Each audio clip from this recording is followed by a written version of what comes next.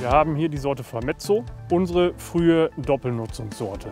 Als hervorragender Silomais geeignet, Stärkegehalte auf der einen Seite hoch, auf der anderen Seite eine sehr gute Restpflanzenverdaulichkeit, dadurch gute Energiedichten in der Silage.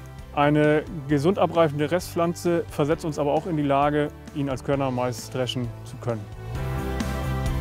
Die Frühreife der Sorte in Verbindung mit ihrer sehr guten Jugendentwicklung macht die Sorte auch interessant für den Anbau im Ökobereich, sodass wir die Sorte dort auch als ökologisch produzierte Saatgut anbieten. Mit der relativ schnell abreifenden Restpflanze eignet sich Famezzo besonders eben dort, wo wir darauf angewiesen sind, den Bestand auch früh und zeitgerecht zu ernten, damit wir eventuell ein Wintergetreide nachsehen können oder wo uns eine späte Ernte Probleme bei der Befahrbarkeit der Böden bereitet.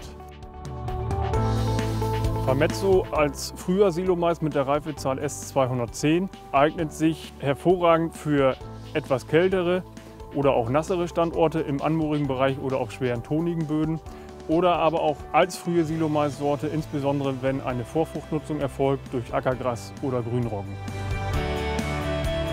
Famezzo kann je nach Standort auf den gut wasserführenden Standorten mit 90.000 stehenden Pflanzen gefahren werden auf zur Trockenheit neigenden Standorten, sandigen Standorten oder aber auch in der Nutzung als Zweitfruchtmais, wenn eine Vorfruchtnutzung erfolgt ist, ist unsere Empfehlung eine Pflanze pro Quadratmeter weniger, sprich 80.000 stehende Pflanzen auf dem Hektar.